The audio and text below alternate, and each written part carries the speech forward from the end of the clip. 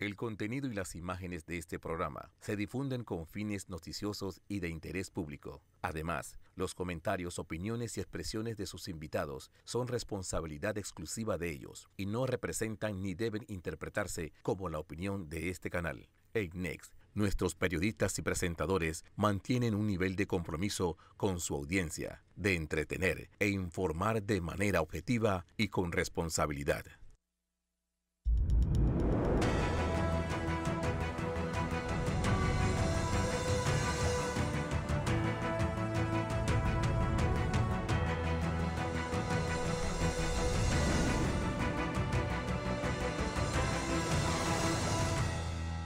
Buenos días Panamá. Hoy es domingo 5 de febrero. Usted nos ve por Next, Canal 21. Nos escucha por KW Continente. Bueno, una semana donde pues, la, política moviéndose a pasos agigantados. Pues en estos momentos en Penonomé debe estar el vicepresidente eh, José Gabriel Carrizo lanzando su candidatura. Y el, el presidente de la Asamblea en el área de Mañanitas, también en un acto político pues, la renuncia del vicepresidente. ¿Quién va a reemplazarlo? Antes del martes, el presidente Cortizo debe estar anunciando este nombramiento. Todo en una semana donde eh, empezamos en un febrero sangriento. El jueves en la noche hubo cinco asesinados en nuestro país y son 47, pues, rondando ya los 50 en menos de 35 días de, lo que va de este año 2023. Un día también en el que, pues, ya próximos a, celebrar los carnavales. Hoy, recuerden, el sorteo de la lotería es en la Feria de la Chorrera, en su último fin de semana. También está las patronales en Bugaba. Y bueno, también pues esperar a ver qué pasa en ese aniversario eh, este próximo 24 de la invasión rusa a Ucrania. José Luis Ríos. Buenos días, Fernando. Y también hay mucha preocupación en la provincia de Colón por los casos de malaria y dengue que siguen en aumento, así lo ha dado a conocer la Regional de Salud, también en los casos de viruela sísmica. Sin embargo, la política, como lo has dicho, eh, sigue bastante caliente. Ahora, con eh, lo que dijo el CEN durante la semana, que se van a guardar siete curules o siete puestos para miembros del PRD, pero por supuestas alianzas, dicen ellos, pero ninguno irá a primarias porque son siete reservas que se han dado en San Miguelito, en Bocas del Toro también completa, y ahora cambia el 13-1 a Raiján, donde todas irán a elecciones primarias. La pregunta es, ¿seguirá la diputada Kaira Harding haciendo este tipo de denuncia que dijo a través de sus redes sociales que iba a hacer durante los próximos días sobre que las instituciones del gobierno no son fincas privadas? Es lo que está esperando entonces la población para conocer Fernando. Bueno, el tema de hoy. Ya vieron quién es nuestra invitada de esta mañana, tía Mayín Correa, porque este próximo eh, miércoles 8 a las 6 y 30 de la tarde en el Hotel Sheraton será la presentación de este libro. Su libro, Testigo de la Historia, una biografía pues, completa. Yo digo, bueno, una biografía que, es como una mezcla de tres libros. Pues, pues, al principio, su historia en Macaracas es como 100 años de soledad o La Casa de los Espíritus o cualquier libro de William Faulkner. Tiene una memoria política, pues me recuerda mucho a la, de Antonio Ledesma y la parte periodística me recordó mucho a las memorias de un reportero de Walter Cronkite. Es como tres historias a la vez circulando en una vida prolífica. Tía, bienvenida a Next Noticias y como siempre, pues más que darte la ah, Bueno, gracias Fernando por haberme invitado. Este, tú le has puesto ya el título al libro, yo también se lo he puesto, yo creo que es una novela de Corintellado. No, hombre, no, eso tiene mucho Esas novelas que comienzan llorando uno y termina uno feliz con el fin de la novela. Eh, ese, esa es mi vida, ¿no? Es muy triste al comienzo, los tiempos de niñez muy tristes, la orfandad, la pobreza, la incertidumbre, la soledad. Porque a mí lo que me llama la atención, tía, y quiero pues llevar este diálogo, es que así como, como el maestro García Márquez empieza 100 años de soledad con, con, pues, con, con, Aureliano Buendía, recordando el día que lo iban a fusilar, el día que lo llevaron a conocer el hielo, cuando tu papá te trae a la ciudad de Panamá. y, ver lo que era Macaracas en ese momento. Es decir, algo que no había tal vez cambiado en dos o tres siglos. Era como con la primera vez que fui a París. Sí, sí, bueno, era algo... Era sorprendente. Yo me acuerdo que teníamos unos parientes, los Montenegro vivían por el mercado. Sí. el mercado público de antes ya no existe, ¿no? No. Este, te- todas las casas por allá en el Cajo Viejo tienen balcón. Y yo me dijeron, espere aquí, me dijo mi papá, porque yo voy para Colón a llevar productos. espere aquí. Y yo, muy obediente, esperé en el balcón. no me que- moví de ahí. Porque yo no sabía, digo, estaba en una casa que no conocía, la- me ofrecieron, pero yo sentadita en el balcón, yo no podía creer que había tanto carro. Yo creo que nada más había un carro como el que tenía mi papá, que tenía Macaraca. uno, Macaraca. Pero, pero, Tanto carro, tantas luces. pero me llama la atención porque fue, tu vida es, es como siempre alguien poniéndote un reto y tú, bueno, superando ese reto. Y es el reto de que si sacas de primer puesto, yo te llevo a Panamá. Así. Y yo, yo, yo siempre tuve segundo puesto. ¿Por qué? ¿Por Porque qué? no me gusta la matemática. Entonces, ganaba 4,5, 5, 3, 3 matemáticas. Entonces, pa, se caía. El que me ganaba a mí era Toti Moreno, el Ah, doctor mira, el Modesto doctor Moreno. Moreno. Él le ganaba primero y yo segundo. Ahí no fuimos para la escuela.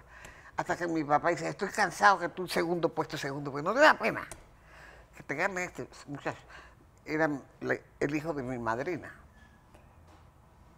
Que Dios lo tenga en la gloria.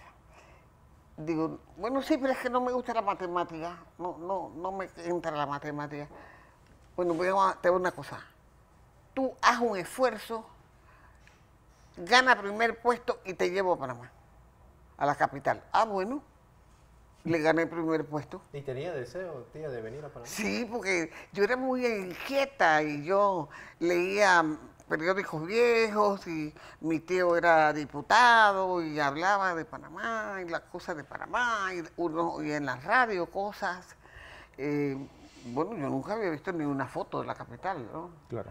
Y cuando llegué a Panamá, yo dije, yo no sabía que esto existía así, yo no- tenía idea de que, primero el ferry me impresionó. Sí, claro. Montaron el truck, que era un Chevrolet verde de mi papá, lleno de huevos y cosas, en, en este ferry, en un barco, y el, el ferry cruzando al otro lado, este, para la ciudad. O sea, uno nunca había visto eso, ¿no? Mm, Yo ni montaba uno un barco menos, ¿no? Porque nosotros estamos lejos del mar. Entonces, era de impresión a impresión. Eso fue lo que me motivó a mí a traer 35 mil niños del campo a la ciudad. Sí, lo, lo mencionas. Porque para mí fue como Una uy, epifanía, ¿eh? un renacer, eh, una por la vida, querer, querer estar acá, querer estudiar, querer superarme para, por supuesto, salir de Macaracas, porque ya estamos como aplastados. Imagínate. Porque de Macaracas para poder llegar a Chitré eran dos horas o tres Dos o horas. si acá, no mucho, porque no había carretera sino de, de lodo De y lodo. de piedras, ¿no? Entonces eso era una miseria ir a, Chitré. La cuestión es que ese viaje, primer viaje mío a, a la ciudad capital, yo quise que muchos niños que como yo no conocían la capital de su país. Y me propuse traer niños de los pueblos adentro, con la única condición de que eran niños que demostraban ser buenos alumnos. Y verle la cara a esos niños cuando Sí. llegaban, que los traíamos al estadio, era así, se hasta que estaban como espantados, de ver- nunca habían visto una ciudad, vienen de un campo donde casi que no hay nada, porque los que yo traje eran de adentro, adentro, adentro. sí, comarca adentro. Sí, Muchos de ellos de comarca montaña adentro. Y eh, eh, ese programa fue inspiración de mi propia experiencia cuando me trajeron a Panamá. Y, y además, junto a de que tenían que ser buenos alumnos. Así que al año siguiente, muchos niños que no, sab- no habían avanzado, como yo, que Hicieron era segundo, se pusieron al, al- al día para poder venir. Esta es la historia de mi familia y, y hay un personaje que, que yo creo que, bueno, igual que tú, que si no, no hubiera existido hubieran tenido que inventarlo, que es mi bisabuela, no las Cuantunes. Yo la conocí mucho. Es, es realmente Sí, una especie igualita. de dínamo dentro de la primera parte de la novela. Dicen los primos que, que yo era igualita a la, a la abuela Nolasco. Esa señora dice que le quitaban los, los fuegos artificiales que tiran en la villa el día de noviembre a, las- a los hombres y ella era la que los prendía. Sí. Era increíble. Cualquier similitud es pura coincidencia. Pero hay otras historias bien macabras de Sí. la familia. No, no, y es, es que, bueno, también que una persona pierda cuatro hijos en una semana es para tumbar la familia completa. Y eso le pasó no, a mi abuela. ¿Cómo soportó? Yo no sé. Qué señora tan fuerte. Se moría de toferina. Lo que pasa es que todos los niños dormían en un solo Claro, cuarto. ahí le pegabas a uno. Y ahí le- pegaban uno al otro y no había nada para contrarrestar la toferina en ese tiempo. No había médico, no había hospital, no había unidad sanitaria, no había nada. Los hospitales muy lejos en ese momento por asunto de las carreteras que no existían, sino prácticamente caminos de lodo. ¿Y cómo soportó la mamá eh, perder sus cuatro primeros hijos? Eh, era difícil de, eh, de comprender ese dolor. Ellos estaban entre mi tía Noris y tú. Y Eh, eran estaba- niñas todas. Eran niñas. Y dice que las hijas de Vale, las mayores se parecen a los que a murieron. los que murieron. Bueno, vale, también sale como protagonista Sí. de la novela. Porque vamos a, vamos a ir en la forma cronológica que tiene el libro, porque otra cosa es, bueno, tú pierdes, que eso para mí, no sé, como que, que tan traumático, tu papá muere en tus piernas. Sí. Mira, mi papá. eh, Mi abuelo yo era Clemente, muy, por muy- cierto, por eso me así. Mi abuelo es mi papá y tu abuelo. Mi papá era un emprendedor impresionante. Él tenía cantina, tenía tienda, tenía el primer carro que entró al pueblo fue de mi- el de mi papá. Bueno, y otra cosa que tal vez no sale en el libro que, que yo quiero resaltar. El 6 de enero de 1940, en la cantina de mi abuelo, Fernan- eh, mi abuelo Clemente, perdón, es la primera vez que se cambia el violín por el acordeón en una fiesta de Macará. Mira eso. Sí.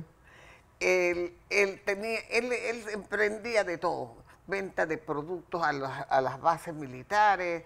eh, bueno, era muy trabajador, porque además tenía un chorro de familia que mantener. Claro. Y tenía una esposa que era mi mamá, que todo lo daba. Mi mamá eh, hacía estas grandes cenas el día de San Juan, le regalaba pollera a las parteras, regalos a los pobres, unas cenas suntuosas que no la comíamos nosotros. Romponche, manzana de Panamá. Yo creo que las contrabandeaba mi papá, yo las llevaba de la zona. Pero ese, eh, eh, el señor haciendo y mi mamá gastando Sí. eh, regalando, porque era que lo daba todo, porque además era madrina de todo el pueblo y de toda la gente de los campesinos alrededor. Cuando mi, ma- mi madre muere, yo, era la primera vez que yo veía tanta gente junta Claro. en una plaza. Era increíblemente grande, ¿entiendes? la gente, los campesinos sobre todo, cómo lloraban, y todos eran compadres mi, de mi abuela. Ahora bien, mi papá, me invita, yo estaba jugando jacks en el portal ahí y él para el truck, nunca manejó, él siempre tuvo un chofer, a la orilla del portal y me dice, oiga niña, venga, me decía Mayo, Mayo venga, que va conmigo, y bueno, ¿a dónde va? Dice, venga, acompáñeme. Yo me monto en el, en, en el, en el truck, en un truck grande, Chevrolet me acuerdo. Eh, el chofer, él y yo, yo en la orilla, él iba en el medio. Yo de momento paramos en, Sabana Grande. Eh, él me da una bolsa de plata. Dice, llévele eso al tío Miguel, que es la, la plata de la semana. Ellos eran socios. El tío Miguel Moreno ponía el dinero, mi papá hacía el negocio y se, se partían. Y toda la semana mi papá venía a dejarle la plata al tío Miguel, al tío Uva de Sabana Grande. Y entonces yo me bajé, le digo, oiga, aquí le manda mi papá la plata a la semana. Se la puse así en el mostrador, él tiene una tienda. Oiga, ¿no le vas a contar, tío Miguel? Yo no le cuento plata a tu papá.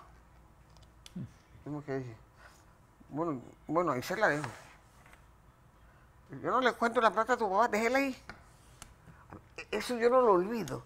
¿Sabe por qué? La Porque es el que había- nivel de honestidad de confianza. con que eran los hombres de este país en el campo. Nivel de honestidad. El tío Miguel sabía que el papá mío era honesto y mi papá le daba la plata que le correspondía a él. Bueno, nos fuimos, seguimos el viaje de mi papá. Dice, tú sabes una cosa, yo me siento mal, niña. Eh, bueno, vamos al hospital. yo lo toco, estaba muy caliente. Tienes como fiebre. apúrese, le digo al chofer, dele, dele, vamos para Chitré para el hospital. Allá tenía una prima que era enfermera, que es la mamá de Sagelito, ¿no? Sí. Tere- Teresa Lau, la prima hermana. Era enfermera en el hospital de Chitré.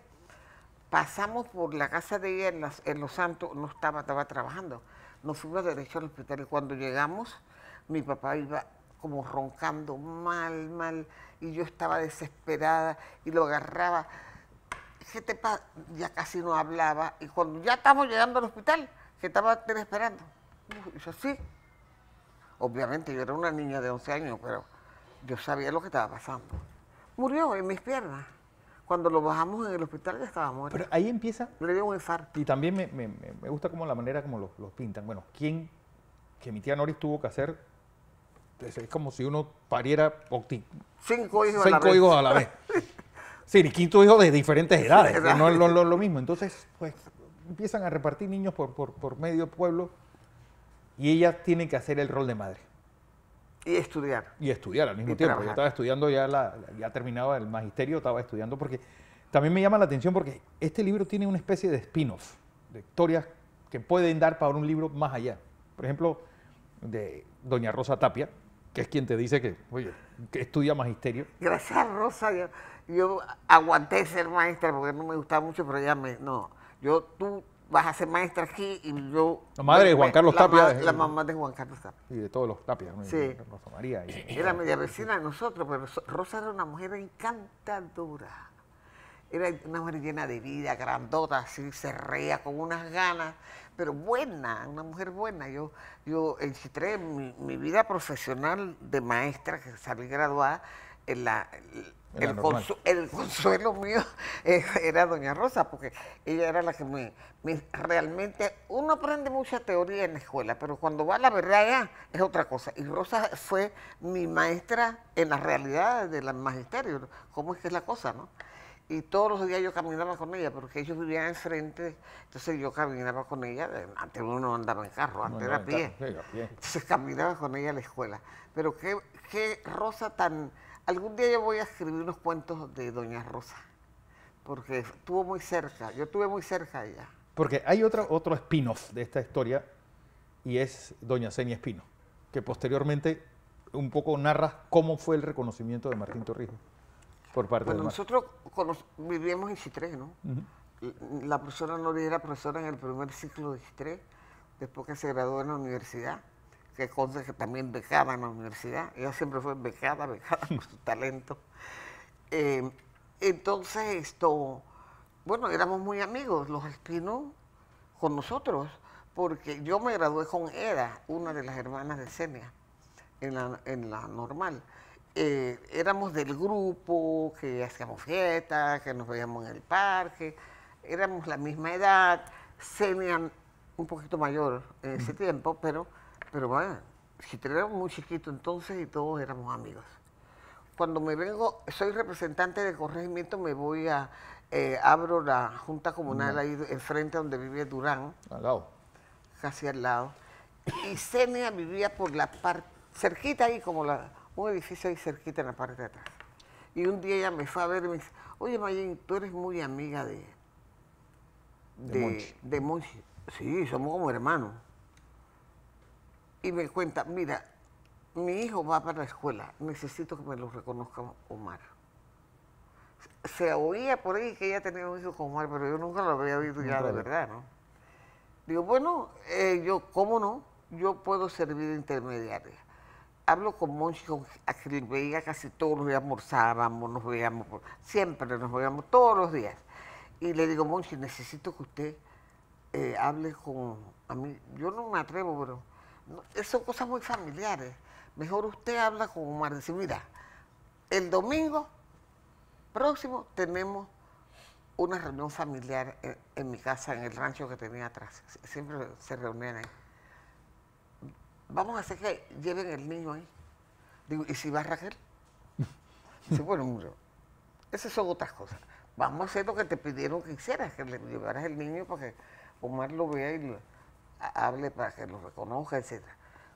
Hicimos eso, arreglamos para que llevaran al niño ahí donde hemos y, y llegó Omar y no llegó Raquel. afortunadamente. Suerte.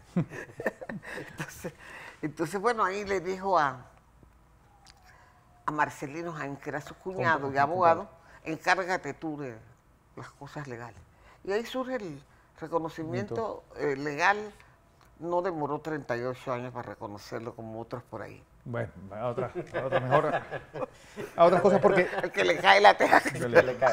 que le caiga. Porque hay, hay, hay mucho, es decir, que viene esa llegada a la ciudad capital en esa gran migración, sobre todo de provincias centrales de los años 50 y 60, que, que se llenó la ciudad, bueno, San Miguelito de santeños y, de, y santeños y herreranos empezaron a llenar la ciudad, en esas migraciones donde, donde llegaron de todo, sí, pero principalmente gente que venía buscando un mejor futuro y ustedes, pues, ¿cómo fue tu entrada a la, a- la vida dentro de la ciudad?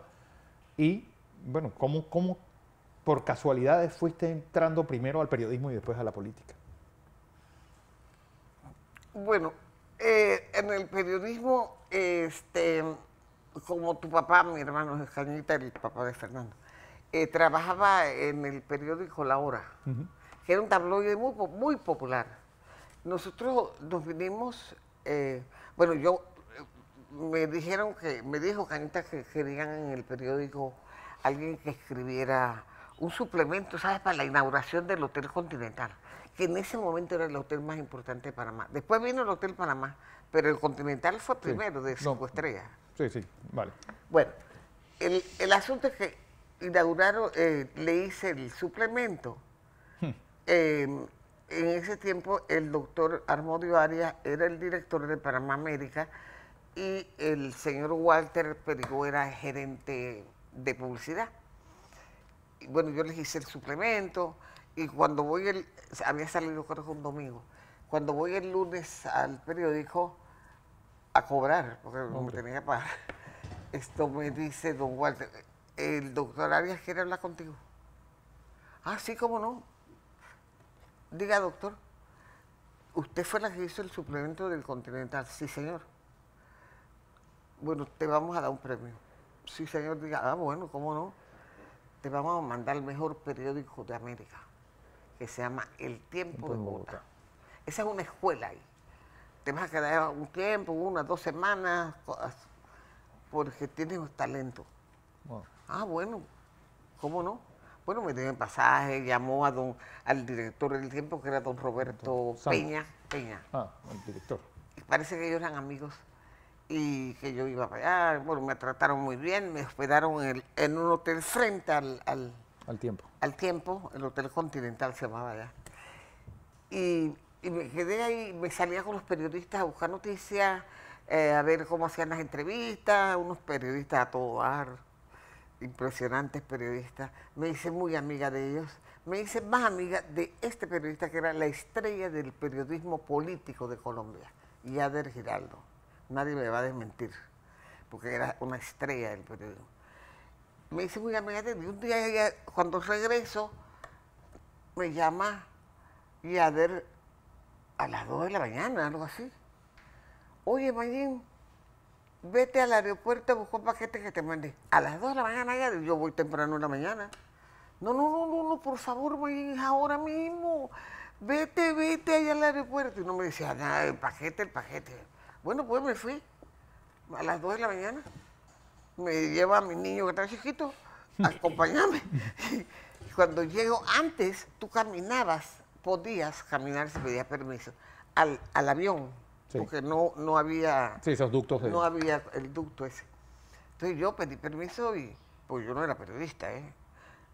Caminando a la policía que me dejara que iba a recibir un paquete. Eso fue lo que me dijeron. Voy caminando hacia el aeropuerto, hacia el El avión, avión.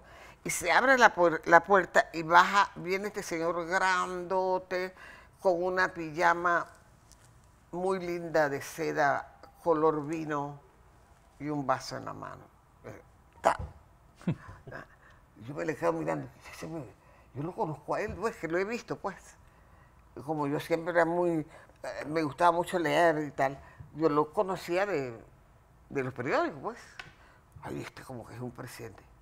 El que se va bajando se llamaba Veneno, era el secretario del... Oiga, señor, él, él es el presidente de Ecuador, vea. Sí, lo, lo acaban de tumbar estos desgraciados. Lo de las. Lo pusieron en un avión con todo y pijama. Y yo lo recojo, le hago, eh, llevo al, al hotel La Siesta, que ya no, Estaba ahí existe, ya no existe, ¿no? Era un hotel muy bonito, se bajaban ahí los pilotos, las hermosas, y los pedo ahí, le dan un cuarto y lo dejo ahí pues, instalado con su secretario. Y también, obviamente, todo este tiempo yo hablaba con él y la grababa. Yo llevo una grabadorita chiquita, así que siempre cargaba yo. Y cuando llego a la casa, llamo a Yader, al que me había llamado. Le digo, Yader, el paquete me habló. Aquí va lo que dijo el paquete. Y le pongo el teléfono. Eso fue la noticia del día siguiente de todas las agencias de todas las agencias de noticias, UPI, France Presto, la periodista panameña Mayín Correa, exclusiva de ella. Me llamaban de esto, yo no sabía ni qué hacer, porque yo no era periodista. Yo, eh, yo estaba de, de maestra. Bueno, En el IPA. Sí, en el IPA. Y me llamaban de todos los países, yo estaba aterrada. Pero, sí, señor, yo hice la entrevista, pero ¿qué más quiere que le diga? No me, dime una cosa. Y es cierto que iba eh, tomando, borracho. Digo, yo no le puedo dar prueba, pero parecía. No, no, me llamaron mil, ¿por qué? Porque en esos tiempos existían las agencias de noticias que rodaban por el mundo entero, en todos los idiomas. UPI, Franpress, AP, y se echaron la noticia, y todas me dieron el crédito. Todos hablaban de mí, del nombre mío, pues. Pero la noticia nació, salió fue en, El Espectador y en El Tiempo de Bogotá, no fue acá. No fue en Panamá. Porque yo no tenía quien hacer aquí, porque yo no era periodista. Bueno, cuando ven esto, Guillermo Rodolfo Valdés, que es un periodista impresionante, ¿no? fato periodístico, lo ven en el periódico del Panamérica. Ven acá, ¿esto qué es? Sí, pero yo no trabajo para ustedes, yo hice un trabajo, esto me lo pidieron de Colombia, yo- aquí nadie me pidió esto. Y me llama eh, Guillermo Rodolfo Valdés, te ofrezco una columna diaria y reportería para que ganes más. Ah, lo cojo de una vez. Y No. me meto a columnista diaria. No, no semanal como en el Herald, diario. Qué pesado es. Bueno, voy a, tengo que Y ir ahí comenzó. Ahí empezó la cosa. Voy a información comercial. Cuando regresemos, más la historia, bueno, los exilios, la crisis política de finales de los 80, dos alcaldías, gobernación y mucho más después del cambio.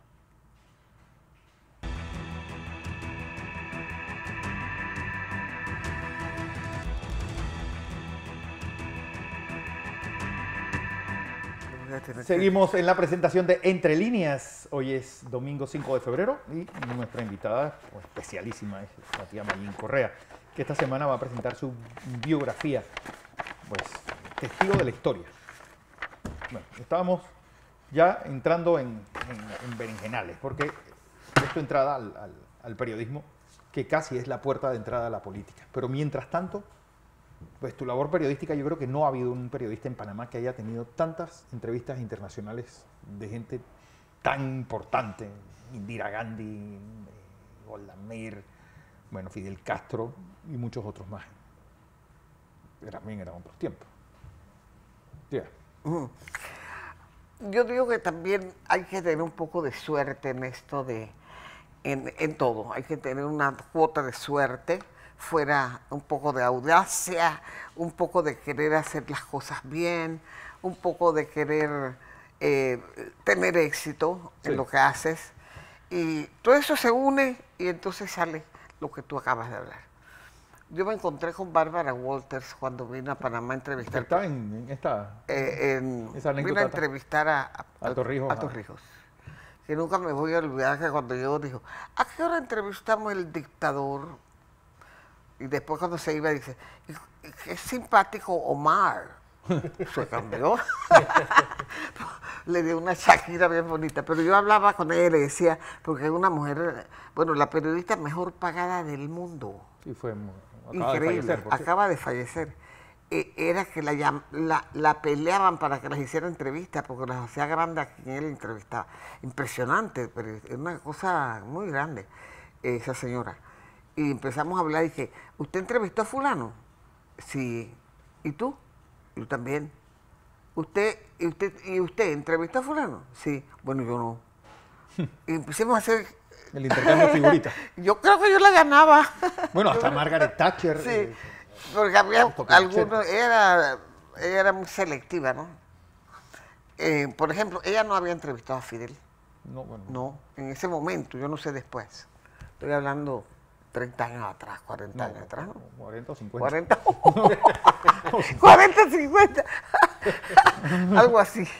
Bueno, la cuestión es que, eh, digo que suerte, porque ¿quién me decía a mí, porque yo no lo sabía, que el día que yo iba a ver a Indira Gandhi, con quien había pre- eh, preparado la, la cita para tal día, tal hora, tal lugar, que ese día que yo tenía la entrevista en su casa, en- a un nivel muy íntimo, muy personal, salía el hijo de la cárcel.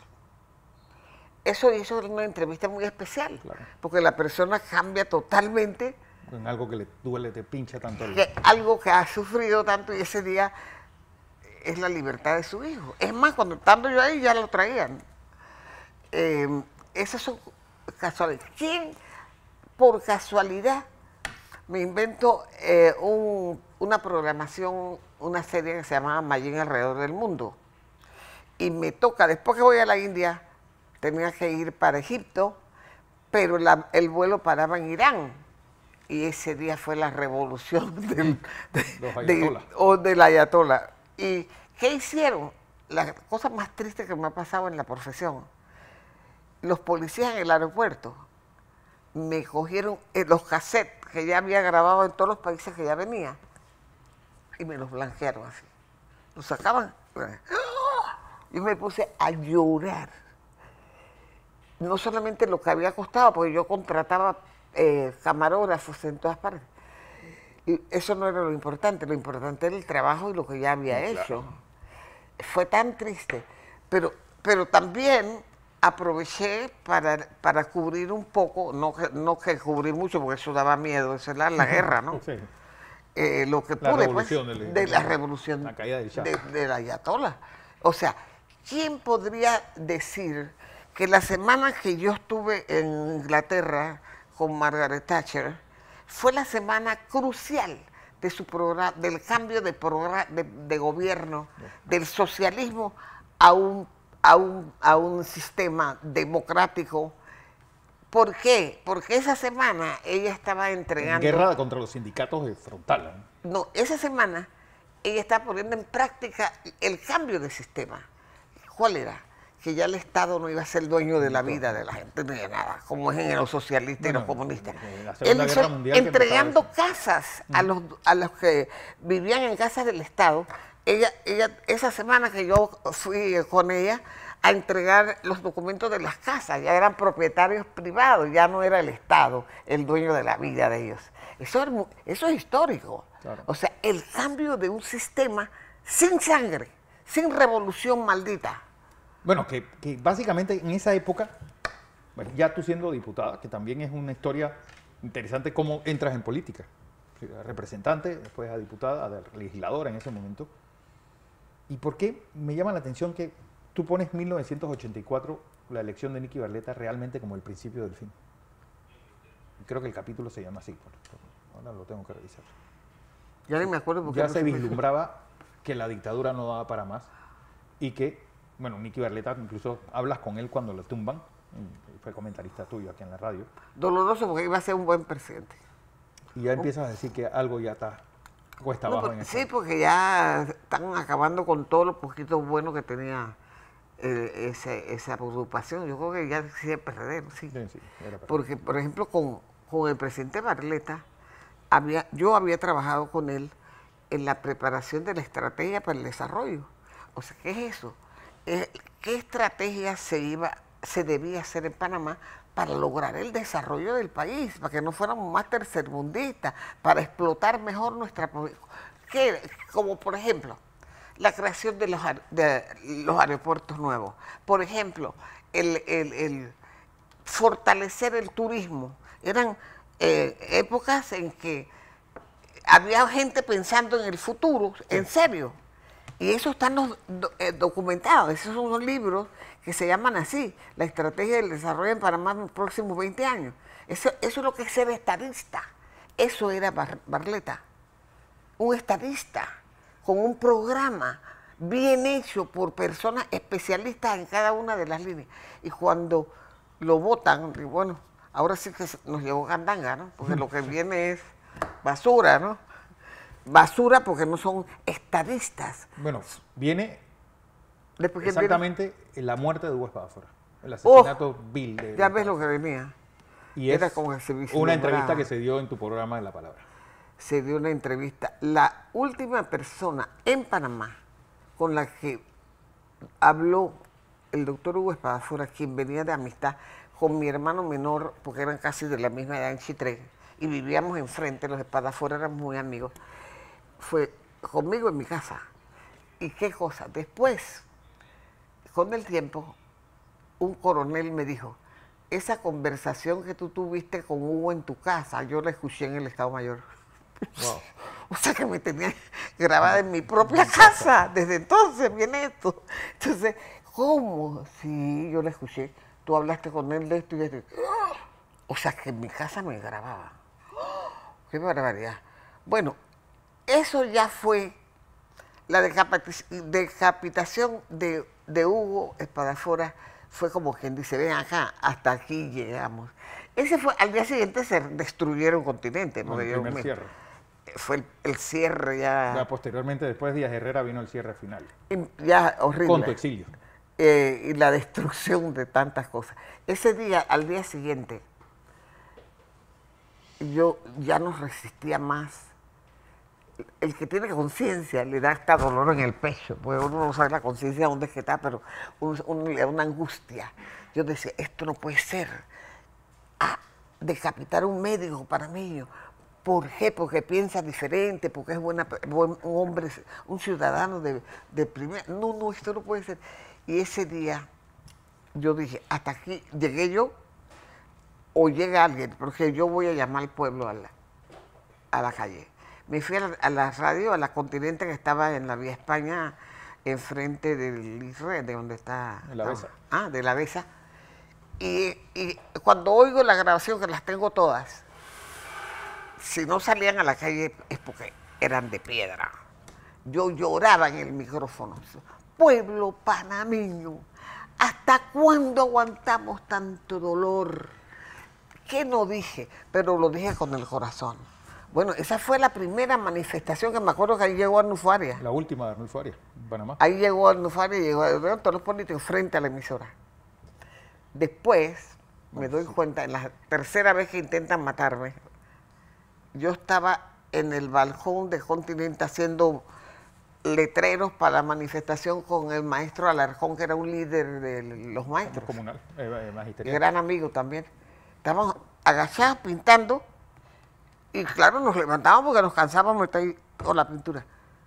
Me cuenta en Venezuela un sargento que su misión había sido tirarme de enfrente de donde estaba esa a continente y que me tenía totalmente Desde la Besa. de la mesa. Me tenía bien, bien eh, puesta el, el, el tiro. El francotirador. Y yo me agaché. Cuando iba a tirar, y ya él tuvo que irse porque le habían visto la, el- la cosa, el revólver, la cosa del rifle. Y me salvé. O sea que hay un- una cuota de suerte en mi vida, así como su cuota de todo. De amor, de suerte, de, de, de- de- de buen feeling de la gente conmigo y de mal. De malo todo, también. hombre, de todo. Tratarme de matar tres veces y salvarme. En, en- en- el, el- el tiroteo a mi carro en San Miguelito fue espantoso, ¿no? Y el carro se reventó, toda la cosa en la gasolina, el agua, se paró, ¡pa! Y, y mi hijo me toca la cabeza porque el tiro me pasó aquí, me quemó el pelo. ¿Cómo no me agarró el, pelo, el cuero? Wow. Eso fue en San Miguelito, en la, en la- El día que mataron a Guzmán Baule. exactamente, el, el no fue en la estatua de Roosevelt, Sí. por ahí en la, íbamos para una manifestación en San Miguelito, pero la señora había advertido que civilista visto, civilista muerto. Y yo iba a ser primero. Pero ahí sales al exilio unos meses después. Y bueno, te toca la muerte de tu hermano mayor en, en medio de ese exilio. que el exilio debe ser un, es, es triste. ¿no? La soledad No hay profunda. exilio de oro. de No oro, no como dicen los estúpidos que nunca han estado exilados. El exilio es muy duro. Sánchez Borbón, que fue una columna vertebral de la concientización sobre contra la dictadura a través de sus columnas, nos contaba en el exilio que había un personaje allá que tenía mucho dinero exilado y una nieta o una nieta o una hija cumplió años allá, estando él allá, entonces le llevaron todo hasta el chicheme, el gay, los ca- cocaíta, el- todo lo que le damos aquí a los 15 años, llevaron todas las amigas, las compañeras de escuela, etc. Y dice que la persona triste, así, triste. Oye, pero tú por qué estás tan triste si, si, si la niña está aquí con sus amigas, con sus hijos, con los tíos, con los empleados? ¿Qué, qué es lo que, qué es la tristeza que tienes? No, es que yo quería que ese cumpleaños se celebrara, como dijo mi papá, en Coronado. Bueno, pero sí, aquí hay playa también, Miami una playa bonita, si hay una playa, tú vives frente a la playa, ¿cuál es el problema? No, es que eh, era abajo de un tamarindo muy bonito que tenemos lo- ahí era que iba a ser. Bueno, pero cojo uno de los árboles que tú tienes ahí, si tú también tienes muchos árboles atrás en tu casa. Mira, y se fue y el tipo le rebataba todo, Sánchez hasta que el tipo dice, coño, no sabes que lo que quiero está en Panamá. Claro. Ese es el exilio. Bueno, ¿Qué es lo que tú? No es que tengas plata ya, que comas, que no comas, que, que seas rico, que seas pobre. No, es que la patria es tú, la tierra de uno. No solamente es la familia, el vecino, el perro que dejó, la casa, es todo, hasta un árbol en un patio que uno ama. Entonces, es muy doloroso el exilio. Mira, yo no le perdono al que debe estar donde le corresponde, que cuando murió mi hermano mayor, sola en, el, eh, en mi apartamento. Claro, llamé a todas mis amigas. y- una persona fue a acompañarme, Baby miró que estaba exilado. Y, y yo no paraba de llorar y desesperada, que yo estaba tratando de que alguien de influencia me ayudara a venir al entierro de mi hermano, mi hermano mayor y conseguí cartas de los dueños de la de Miami Herald, de, senadores, de Jim Patrick, de cuánta gente en los Estados Unidos, e importante, que le mandaban fax a Noriega que se comprometían a traerme y, llevarme de vuelta. A uno, él le dijo, a un senador, él le dijo, dígale a la señora que usted le va a llevar el cadáver para allá, se- que se lo lleve para allá hasta ahí le, le doy permiso. El tipo era más canalla de lo que uno veía. Era, era un animal. Que me lleve el cadáver. Bueno, "Lle- pero llévele el lo- cadáver. Lo, lo importante es que regresas, como todo ese aura de, de haber exilio y sacrificio, a ser alcaldesa por primera vez. En ese momento las alcaldías las ha designado el presidente. Sí, fui nombrada Fue por, nombrada. por Endara. Ujú. Yo creo que influyó mucho Chinchorro también. Sin chorro Carlos. Mm. Eh, éramos familia prácticamente. ¿no? Chinchorro es familia de mis nietos y nos conocemos mucho. Pero hay ¿no? algo que, que- que es interesante que no hay, ¿sabes? Al ser no electo, pues la alcaldía de Panamá era pues casi una posición nominal dentro de lo que, y, y- y todo lo que se hizo, tanto en la primera como en la segunda alcaldía. Fue duro. Fue duro, ¿eh? Porque nunca, primero yo, mis verdugos son el PRD.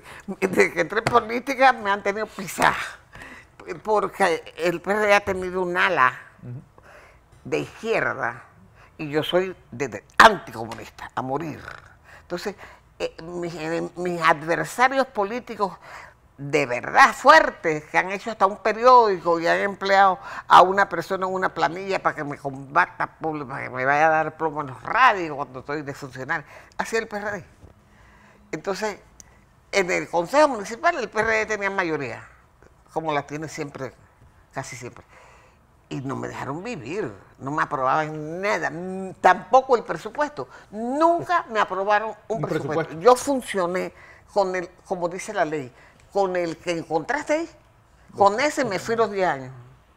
O sea, es horrible. Sí, usted ha, ha querido que, que muchos conozcan su historia a través de este libro. Hoy hemos conocido un poco más, pero los jóvenes hoy conocen quién es Mayín Correa por los memes que le Una, hacen, una influencer. una influencer. que O sea, la algo distinto de lo que quizás conocí yo también, porque de niño iba a los desfiles que usted creó en la, cuando pasaban por la calle 50.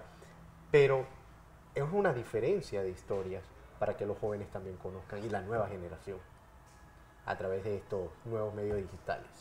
Yo creo que sí, yo creo que eso es lo que he querido, no solamente con los jóvenes de Panamá, con mis propios sobrinos, que no conocían realmente la historia. Acuérdate que yo tengo 110 años.